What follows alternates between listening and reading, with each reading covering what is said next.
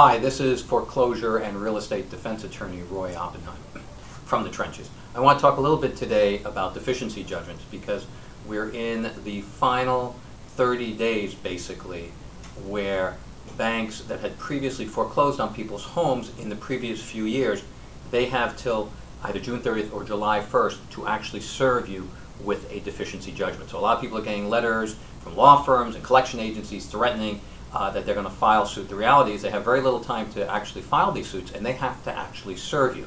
So the reality is uh, that if they don't serve you, they may be too little, too late to actually pursue those deficiencies against you. A lot of folks are calling. They want advice. We're here for you right now. Roy Oppenheim from the trenches. Have a great day.